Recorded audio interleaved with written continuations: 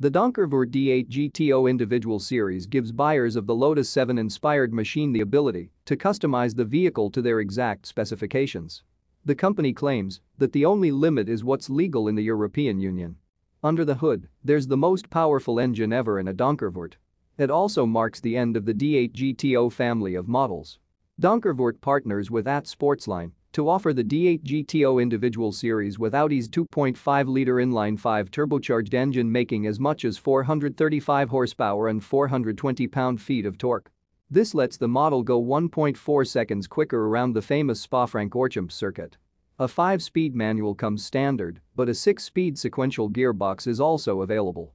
Buyers can decide whether to set up their D8 GTO for the road or focus on track use. The selections include a Bosch ABS system with a tune specifically for circuits and a faster steering rack for quicker reactions.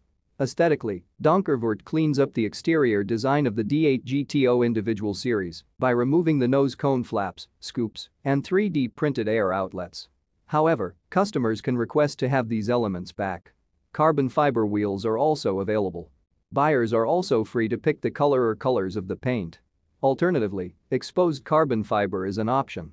The situation is similar on the inside, where buyers have a nearly endless number of choices. There are comfort-focused seats with heaters in them and carbon racing chairs. Naturally, a customer can select the colors and patterns for the upholstery. Amenities like reversing cameras, radar detectors, and air conditioning are also available. If a person wants to take this even further, Donkervoort can deliver custom luggage that matches the car.